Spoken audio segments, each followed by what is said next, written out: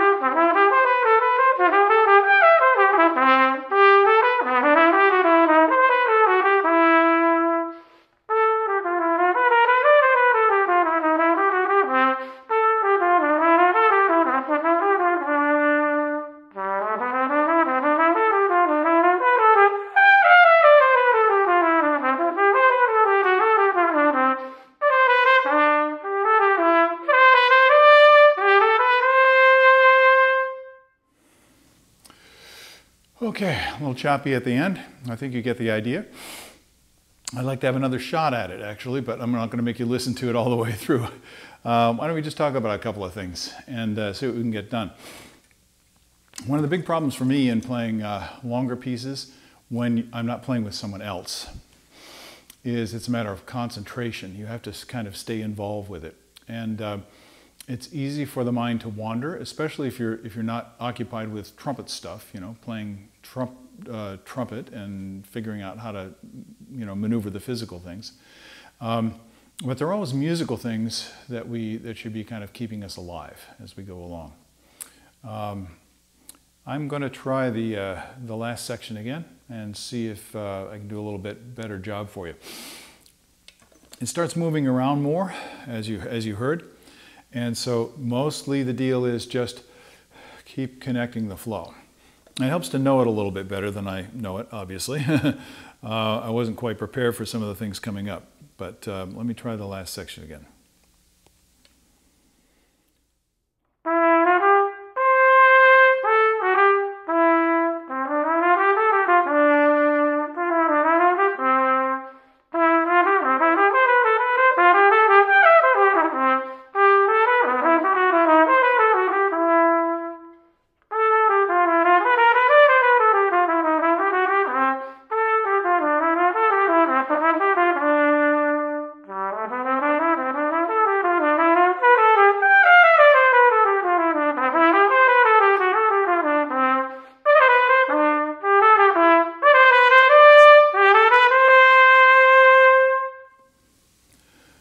Got a little water in the horn. All right, um, that felt a little bit better. Now, what can we get out of this etude? Any etude, exercise, drill, solo excerpt that you play is an opportunity. Opportunity to uh, kind of be honest with yourself about what you're good at and what you're not good at. So we can put restrictions on ourselves or we can kind of minister as much freedom to ourselves as possible.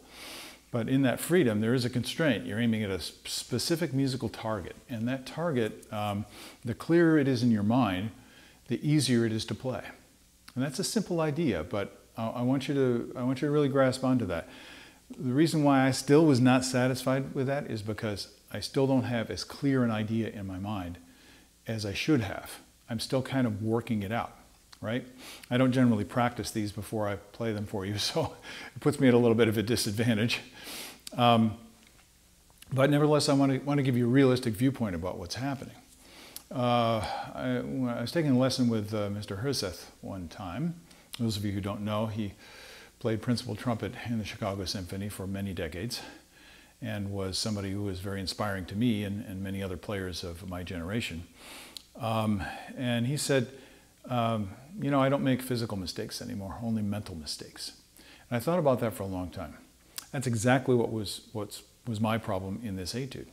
I was making mental mistakes. I was losing my focus on where I was going. I was kind of breaking the chain of connection in the musical line. Um, and how do you know that? Well, you have to learn how to observe yourself when you're playing. That's probably the most important skill, is to be in the moment, kind of be outside of yourself and watching at the same time while you're doing. It's a very interesting state of mind, but every performer kind of knows what I'm talking about. um, some some uh, athletes call it being in the zone. It's kind of like you're watching it happen. It's a kind of a Zen thing. Uh, so, uh, musically, technically, what are some things that could be uh, that you could explore or pay attention to that would be interesting for you? The first thing I notice is it says mezzo piano. What is that? Well, medium soft. Okay. Um, there are some accents. Uh, so I'm getting some information. Uh, I've got a tempo marking. That's from the editors. They suggested this tempo marking. And I'm pretty close to the tempo marking, I think. Um, but what, what's, you know, what can I get distracted by? And what's really going on musically?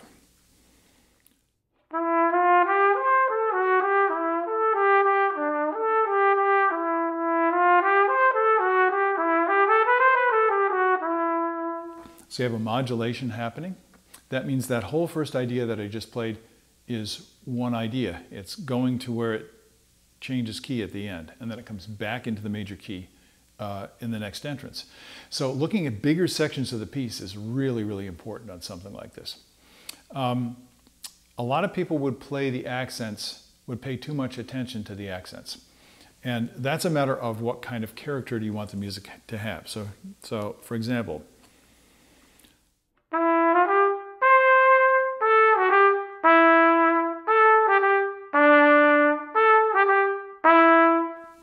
that sounds kind of dumb to me because when you accent those notes, it takes away from the musical line. Now, I don't know if those markings are Bordogni's. I don't think they probably are. I think they're a suggestion from the editors. And if so, they had something in mind musically. The question is, what was it? So I'm instead of accenting with the tongue, I'm just gonna I'm just going to play the full length of the note. I'm going to bow the note generously on the half notes.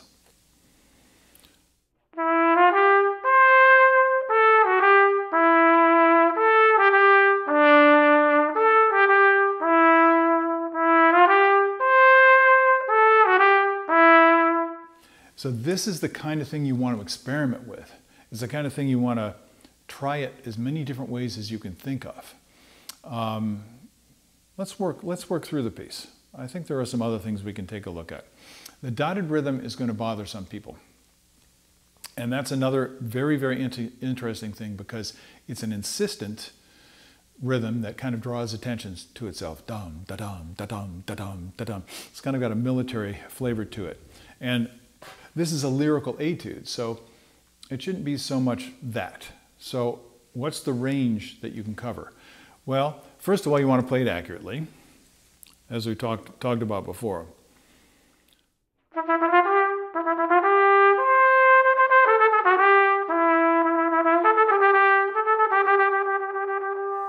So you have that subdivision running in your mind. That's basic musicianship, and everybody should be learning how to do that and getting better at that all the time. Um, once you've got that, and it becomes automatic, so you have an internal rhythm, you have an internal drummer. Uh, sorry, I just got a flash on Animal from the Muppets. That's kind of my internal drummer. uh, so it's that guy in there. And, and that's something you want to develop that feel. If, if, if it's not strong for you, re really work on it by listening. Let it kind of enter into your body. Now, let's say the rhythm's no problem for you at all. Then you got to figure out what to do with it. Maybe you're going to interpret it. So I might, I might, uh, so to speak, flip the rhythm. In other words, I'm going to play the 16th too quickly.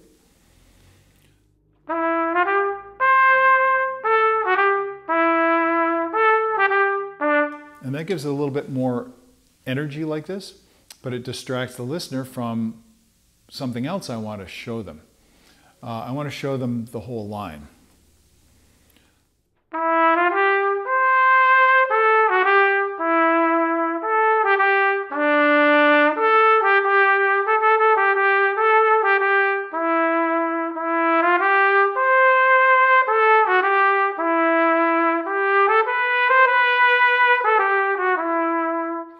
So that was, as you could hear, more smooth. These are the interpretations I want you to mess around with. That's what makes playing these things fun. It's not a technical exercise, it's a musical exercise. Now, there's some technical things in it, and we'll get to that in a second, and then I'll let you go practice. But um, I want to show you a little thing about that rhythmic figure that's really important. We're going to be talking about this uh, quite a bit because it's one of the most valuable skills we have for creating kind of like musical expression. And that is what you might think of as a breath inflection. Um, so if I did it with my voice.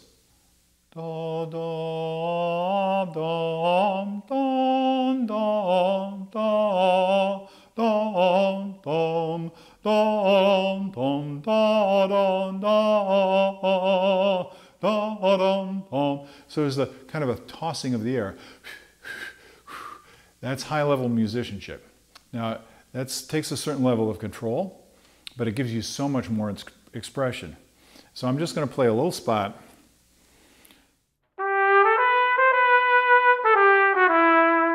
And when you play it very smoothly like that, it, then the rhythm kind of blends in and you get more of the line. But if I change it a little bit, now I'm going to throw the sixteenths a little bit.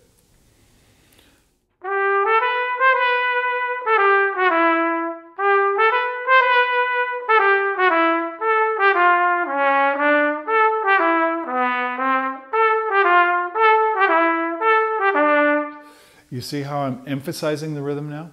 Those are musical choices. This is not about right and wrong. This is about, I like the way that sounds. That fits my feeling uh, for the piece. So I, I, all I can do is strongly encourage you to, to play around with these things. For me, this is what this entire book is, is really about. However, there are some technical difficulties. And you notice from my first performance that um, I stumble a bit uh, near the end. So these are the kinds of things that are purposely placed by the composer, by Mr. Bordogni. Um, so I'm looking at uh, bar, what, 45? So you you've been playing along.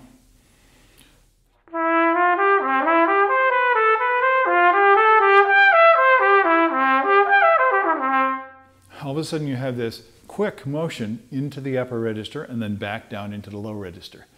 And uh, it should sound easy, or at least that's what we work for.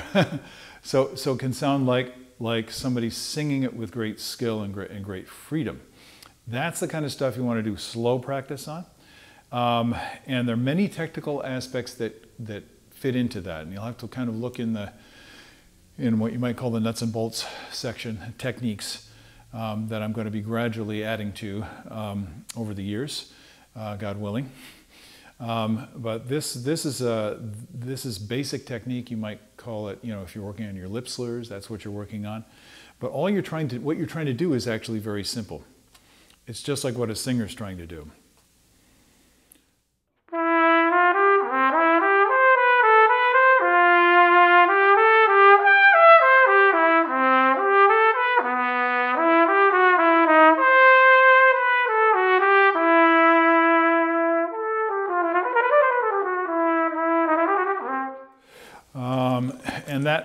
Way through the piece, and it, see how he did it last four lines of the piece, he's starting to stack up the difficulty. So you've been singing along on this nice manageable tune um, and hopefully enjoying it. And then you get to this spot, and just like I did, you kind of trip a little bit. so don't let that bother you. That's just a sign that you need to get back to work. And the work is to get the satisfaction of playing the music with, with uh, beauty and quality um, so that uh, it's kind of an encouragement for people to listen to. Yes, there is beauty and truth and order in the universe.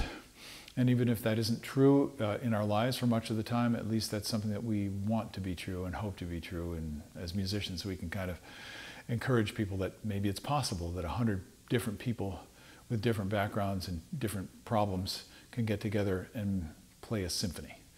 Uh, isn't it great? so thanks for joining me again today. And uh, Uh, I only say again, enjoy your practice. See you later on. Bye bye.